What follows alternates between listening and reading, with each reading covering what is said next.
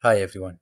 In this video I'm going to show you how we can download and install latest version of Microsoft Visio 2024. First you have to create a folder, right click, new folder, name it Visio 2024. Okay, then open Google Chrome, search for Office Deployment Tool, this one. Enter, click download Office Deployment Tool. Just download. You see, it's downloaded. Show in folder, good. Now, just right click run as administrator. Yes. Click this one. Continue. From desktop search for the folder i have just created visio 2024 select it. Okay. File is extracted successfully. Okay. Great. Now if i check here you see here i have these two files. Delete this one. Good. Open google chrome again. New tab. Office customization tool this time Office customization tool. Enter Office customization tool. If your PC 32-bit, select 32. My PC 64-bit, so I select 64-bit. Scroll down. From Visio, select latest version.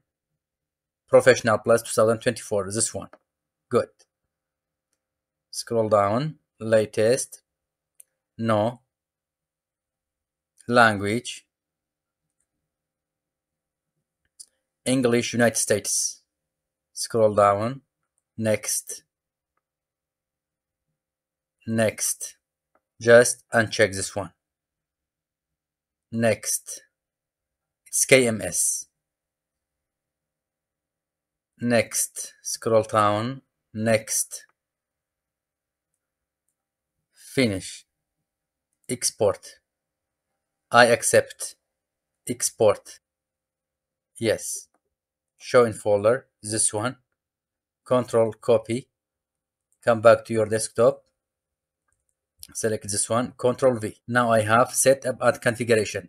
This configuration file name must be configuration like here. Okay. Now just select the folder control copy. Go to disk c. Paste it here. This one. Open it. Click here. That is the path.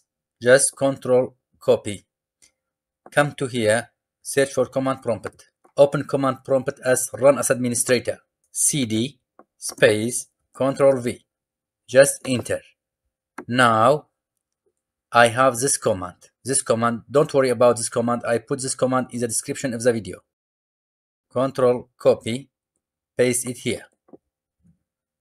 Enter. Now it started. We just have to wait. But please don't forget to like the video, leave a comment and subscribe as respect to our effort it is done. Just from here search for Visio you see here we have Visio click it. Yes that's it. Have a nice time